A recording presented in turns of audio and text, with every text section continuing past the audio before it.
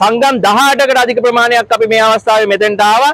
ඒ ඇවිල්ලා පාරිභෝගික අධිකාරියෙන් අපි ඉල්ලනවා මේ වෙලාවේ තියෙන මේ අ, සියලුම ඒ සර්විස් වලට ඒ වගේම මේ වාහන අලුත් වැඩියා කිරීම සඳහා යන ස්පෙයා පාර්ට් වල මිල සම්බන්ධයෙන් යම්කිසි අ, නියාමනයක් කරන්න කියලා. මම හිතන්නේ මේ පාරිභෝගික අධිකාරියේ නියාමනය වෙන්නේ නැත්තේ මොනවද කියන එක අහන එක තමයි අපිට වඩා සුදුසු නියාමනය කරන්නේ මොනවද කියන එක අහනවට වඩා.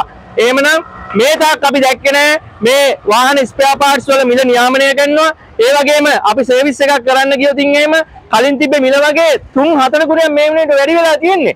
හැබැයි උද්දමනය 180ක් වගේ වැඩි වුණේ මේ ස්පෙයා පාර්ට් වල මිල 400කින් වැඩි වෙලා තියෙනවා. එහෙමනම් කවුද මේකට වග කියන්න ඕනි?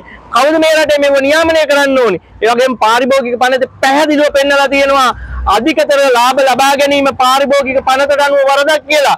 හැබැයි මේ ස්පෙයා පාර්ට් විකුණන මේ කඩ කළු කඩ මාෆියාව මේ වන විට අධික මුදලක් උපයලා මේ පාරිභෝගිකයන්ගෙන් අසාධාරණ ලෙස මුදල් අය කරගන්නවා. මේ මුදල් අය කර ගැනීම අර කාර්යාල ප්‍රවාහනයේ යන ඒ කාර්යාල සේවකයාටත් බස් එකේ යන ඒ බස් මගියාටත් ඒ වගේම කුලී අ, රථයේ යන ඒ කුලී මගියාටත් මේ බරපැන දරන්න වෙනවා. එහෙමනම් අපි මේ මාෆියාව නතර කරන්න ඕනි. ඒ වගේම මේ සහෝදරයෝ නොකියපු දෙයක් මම අ, පොඩි උපදේශක් ඕගලන්ට දෙනවා පොඩි දැනුවත් කිරීම.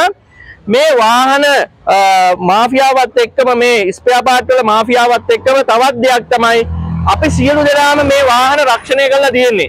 ඒ වගේම අපිට මේ වෙලාවේ යම්කිසි ලීසින් ගෙවා ගැනීමේ ප්‍රශ්නයක් තියෙනවා. හැබැයි අපේ වාහනයක් ඇක්සිඩන්ට් වුණොත් ඉතින් රක්ෂණ සමාගමෙන් කියන අදාළ මුදල කෙලින්ම බැර කරන්නේ අර ලීසින් ආයතනයේ ගිණුමට.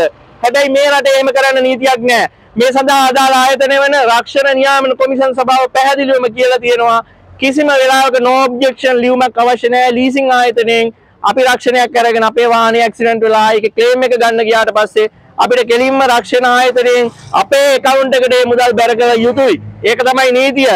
ඉතින් ලීසින් ආයතනකින් කිසිම වෙලාවක මේක කරන්නේ නැහැ. මේක කරන්නේ නැතිවීමෙන් සියලුම පාරිභෝගිකයන් දැඩි ලෙස අපහසුතාවයකට පත් වෙලා තියෙනවා. මෑතකදී අපේ සංගමේ සමාජිකයෙක්ට මේ කනගාටුදායක දුක්ඛදායක සිද්ධියට මුහුණ දෙන්න වුණා. ඒ වෙලාවේ අපි ගිහිල්ලා රක්ෂණ නියාමන කොමිෂන් සභාවටත් මේ වගේම අද පාරිභෝගික අධිකාරියට එනවා වගේ පැමිණිල්ලක් කළා. ඒක සාධාරණ රේෂ වුණා.